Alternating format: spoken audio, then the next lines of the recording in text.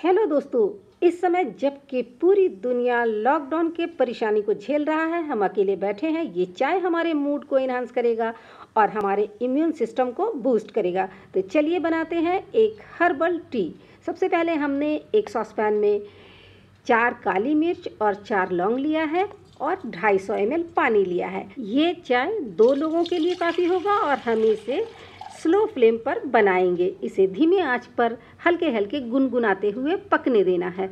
तो यहाँ पर हमने आधे इंच के अदरक के टुकड़े को ग्रेटर में चॉप कर लिया है।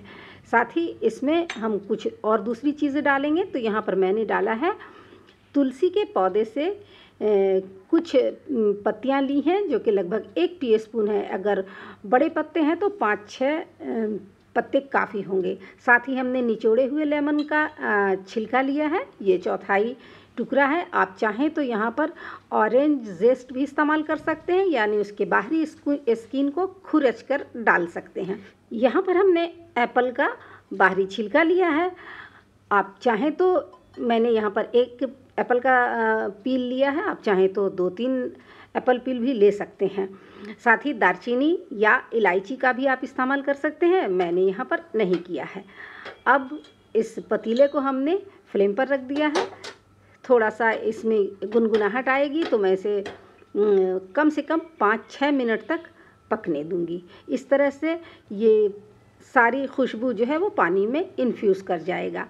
अब एक प्याली ले लेना है और उसमें मैंने डाला है ब्राउन शुगर आप चाहें तो हनी या मिश्री का इस्तेमाल कर सकते हैं, क्योंकि इसमें चीनी से कुछ ज़्यादा फ़ायदा है।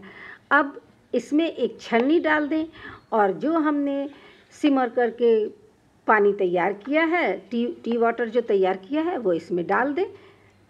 बहुत ही आसान तरीका है, बहुत ही टेस्टी चाय होती है और मैंने यहाँ पर चाय की पत्ती भी इस्तेमाल नहीं किया है, मगर फिर भी इसका कलर बहुत ही अच्छा आया है। आप चाहें तो यहाँ पर एक चुटकी हल्दी भी इस्तेमाल कर सकते हैं, जो कि सोर थ्रोट के लिए बहुत फ़ायदेमंद होता है।